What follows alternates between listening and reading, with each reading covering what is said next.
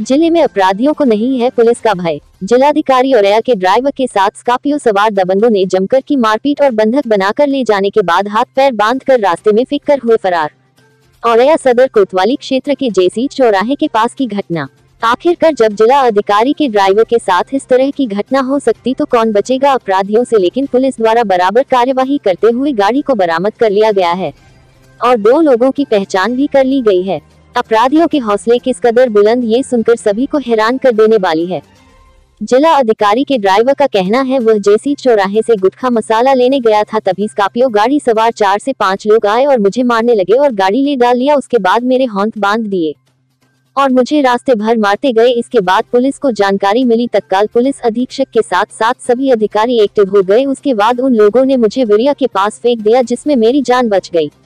औरैया ज़िले से एक चौंकाने वाली खबर आपको भी हैरान कर देगी।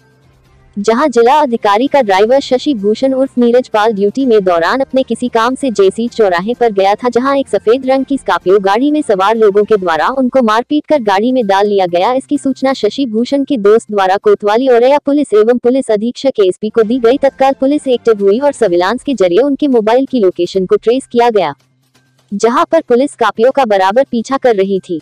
वही स्कापियो सवार आरोपियों के द्वारा शशि भूषण के हौंद पैर बांधकर औरैया के बिरियापुर के पास फेंक दिया गया और पुलिस द्वारा शशि भूषण को बरामद कर लिया। वही स्कापियो सवार लोगों के द्वारा शशि भूषण को बेरहमी से पीटा गया, जिससे उनको गंभीर चोटें आई, जिसे सोसया जिला अस्पताल में भर्ती कराया गया, जहाँ डॉक्टरों द्वारा इलाज किया जा रहा है।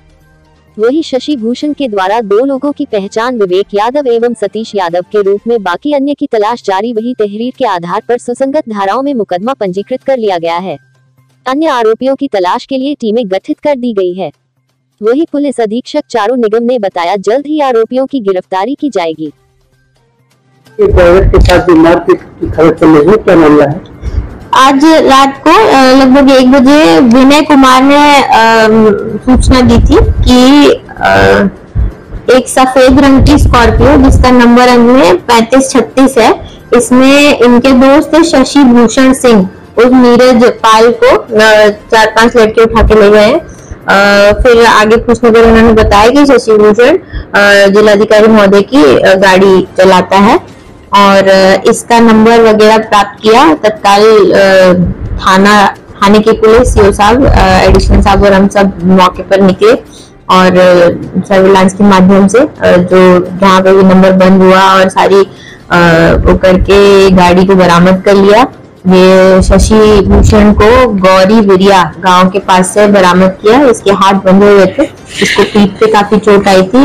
जो भी लोग थे, इन्होंने इसके साथ मारपीट की है। इनमें एक व्यक्ति विवेक यादव और सतीश यादव।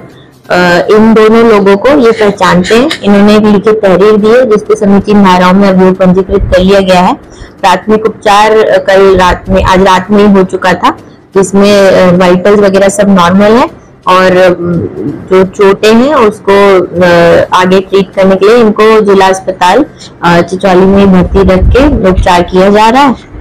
बाकी जितने लोग नामजद हैं और जो अज्ञात व्यक्ति हैं, उनका पता लगाने के लिए और अरेस्टिंग के लिए टीम्स गठित कर लिए बहुत जल्दी इसमें अरेस्टिंग कर ली जाएगी।